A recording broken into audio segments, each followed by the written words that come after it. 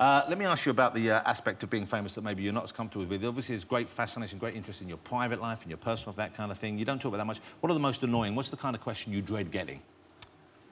When are you going to get married? Being asked that, I got asked that one. It was like after no, but uh, after Wimbledon, it was like.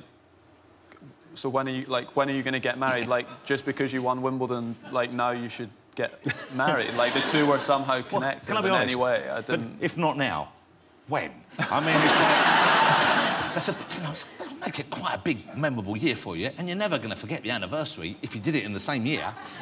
When did we get married? Oh yeah, the year I won Wimbledon.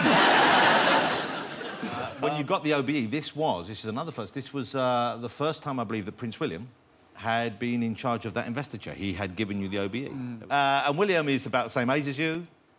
Is he? I think so, isn't he? How old is he? I'm 26. I think he's a bit older than that. But Wow, if you want to have a dig at William, go ahead. Trust me, you want to get that knighthood, you better stay on his right side. Um, so, uh, OK, he said, you know, but you know, look, I'm 52. To me, you're both kids, you're the so same you're age. double my age. Oh, off. It's not a maths test, you know? All right, you can add up. OK, I'm double your age. So, uh, but you're kind of in the same region. You're Yeah. both under 30. Uh, he's started a young family. He's married, by the way. Um, and... Uh, uh, did you chat about tennis? What did he say? Uh, I just had back surgery, so he asked me how that had gone. Um, Wow, and I that's a told bit him. dull.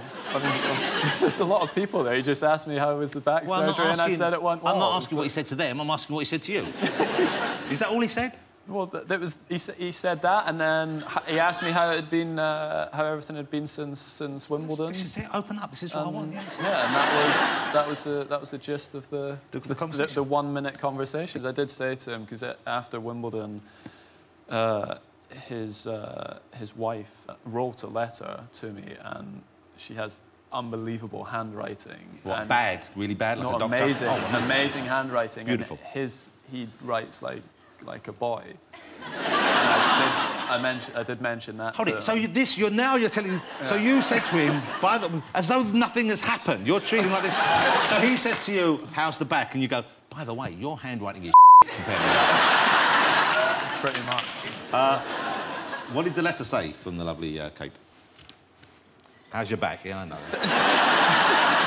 It just said, "Well done on Wimbledon." What was actually wrong with the back? There's a lot of stuff going on there, basically, but I had to have some bone shaved off the back. Some That what was saved off the back? Bone. Oh, some bone. What did you What did you think I said? Well, I don't know, but that sounds like a lot of work to be done. Yeah, bone No, it's shaving. very minor. Very. It's very minor. Like very small amount of bone. It's small amount of bone. Small amount of bone, but it makes a big difference. Where was the bone gone? Did you save the bone? I didn't. You could get money for that bond on eBay. Is that what I was saying? yes, you were saying bond. No wonder I didn't know what you're talking about. Bone. Bone.